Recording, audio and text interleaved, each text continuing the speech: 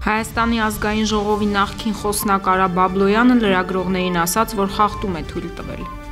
Ես կարող եմ մի հարցի շուրջ պատասխան տալ։ Ես աջակցել եմ Նիկոլ Փաշինյանին իշխանության գալու հարցում։ Այդտեղ ես թույլ եմ տվել խախտում, նշեց նա հրաժարվելով պատասխանել, թե ինչ խախտում էր դա, կոչ անելով իրավապահներին ողջել հարցը։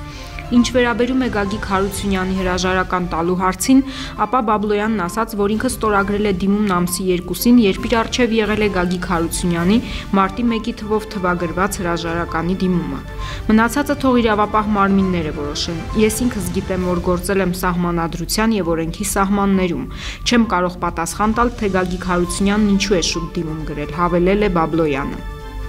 Սահմանադրական դատարանի նախկին նախագահ Գագիկ Հարությունյանը հերքել է, թե անցած տարի իրեն պարտադրել են սահմանված ժամկետից շուտ հրաժարական ներկայացնել, որբիսի Հայաստանի Հանրապետական Գուսակցության անդամ Հրայր Թովմասյանը հնարավորություն ստանա սահմանադրական դատարանի նախագահ դառնալ մինչև 2015 թվականի սահմանադրական փոփոխությունների ամբողջությամբ ուժի մեջ մտնելը։